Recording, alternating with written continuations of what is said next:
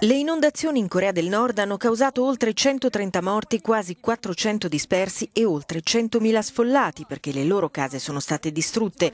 Sono i dati dell'Ufficio dell'ONU per il coordinamento degli affari umanitari, mentre la Croce Rossa Internazionale lancia l'allarme sul fatto che 140.000 persone necessitano urgentemente di assistenza umanitaria.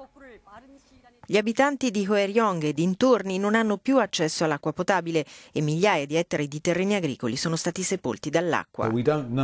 Non sappiamo ancora quanta parte dei raccolti di riso o di grano sia andata distrutta, dice un portavoce della Croce Rossa, ma in una situazione in cui l'autonomia alimentare è già a rischio in tempi normali, potrebbero esserci gravi conseguenze e un'ulteriore emergenza nei prossimi mesi.